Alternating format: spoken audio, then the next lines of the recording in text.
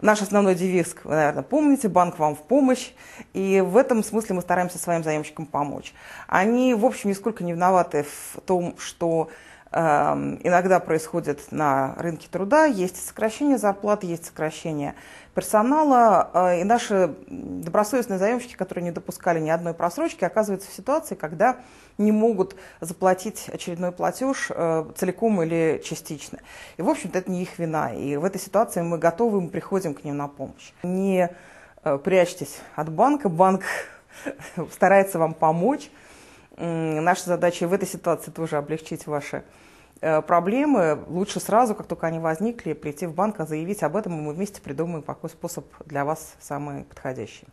А почему считаете, что банку это невыгодно? Не, у банка будет меньший уровень просроченной задолженности.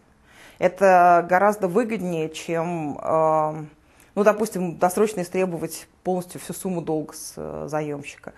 А, либо смотри, сидеть и ждать, когда он э, уйдет в дефолт, его просрочка будет уже не 5 дней, а 30 дней, там, 180 дней и так далее.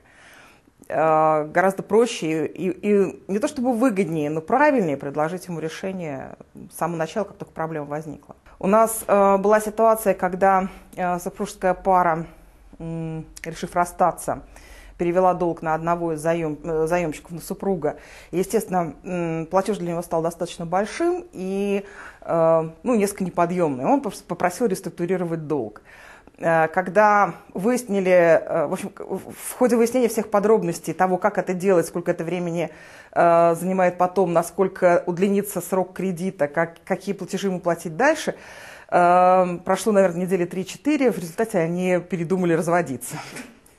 Так что вот такие случаи бывают тоже. Иногда реструктуризация помогает сохранить семью.